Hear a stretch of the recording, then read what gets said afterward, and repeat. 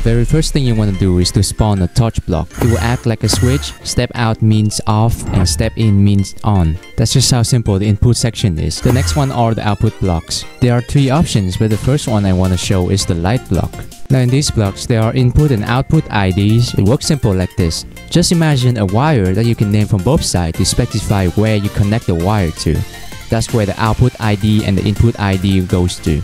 Now just look at me naming the output ID from the touch block as For instance. Then input ID of the light block to Kdazol too.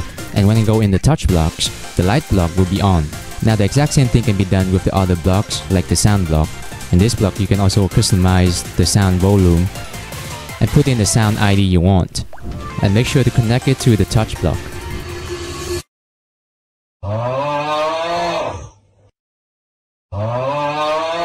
Then last one is the damage block. This one will damage anything that stand inside it. Make sure to connect it and set the damage. And if you stand in the touch block, it will gradually damage the dummy or whatever stand inside.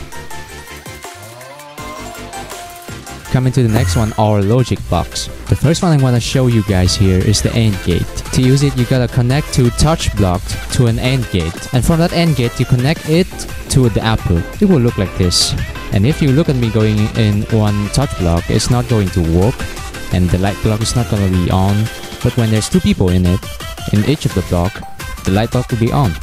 That means that's the AND gate. Next one is the NOT gate. For this one, you only need one touch block to connect to it, then connect to the output. The NOT gate, as the name said, will do the opposite of what the touch block should do.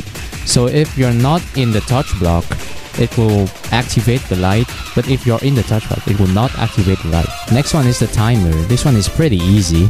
So you just connect it like the other two and then you can set a delay. So whenever you step in the touch block there will be a delay before it sent the signal for the light to be on.